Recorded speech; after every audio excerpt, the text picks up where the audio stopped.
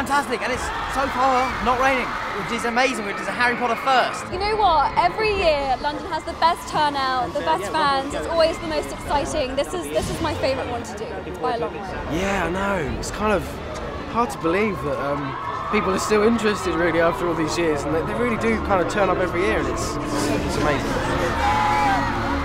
I'm blown away by the fact that all these people still come out in the rain and the cold, so, and they scream still. So it's mad, yeah. It's astonishing, isn't it? It's the power of a good story.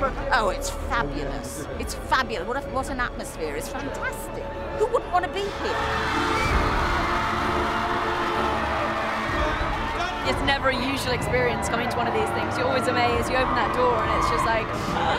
It's pretty fantastic, isn't it? Don't you think? It's wonderful.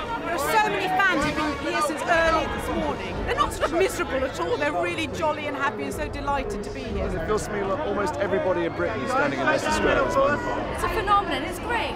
I mean, it's amazing that this thing inspires so many people to such a pitch of excitement, pitch of excitement. It's always fantastic. It always blows me away. Every year we think somehow that it's going to die out somewhat, but every year they come out in their in their uh, in their thousands and, and make us feel very well. Because it was my favourite book of the series, and I think they've made the best film so far out of it, so that's obviously wonderful.